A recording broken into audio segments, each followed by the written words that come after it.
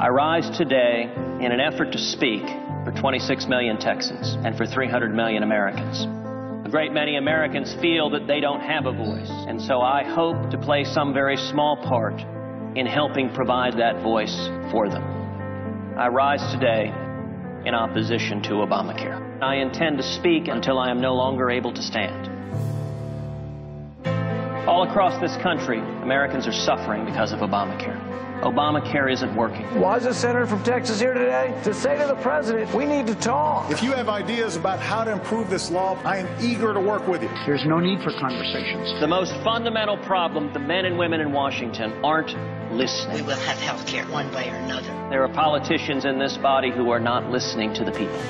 They're not listening to the jobs lost, to the people forced into part time work, to the people losing their health insurance, to the people who are struggling. The very people that this bill's supposed to be helping, the working class, the middle class, the people that are trying to get ahead, are the people that it's directly hurting. Lots of unfairness is built into this law. Individuals have to comply with their mandate, but big businesses don't. More power to Senator Ted Cruz, Mike Lee, others who are standing up in this battle for the heart and soul of Americans who care about this country. The Affordable Care Act, the latest NBC Wall Street Journal poll shows Americans oppose it, believing it will produce damaging results. 52%. Is everybody wrong?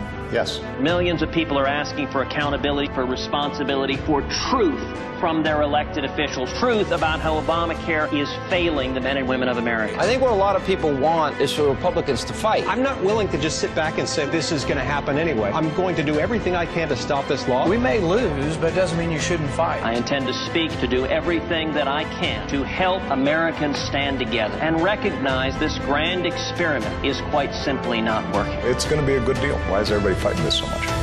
It is time to make D.C. listen.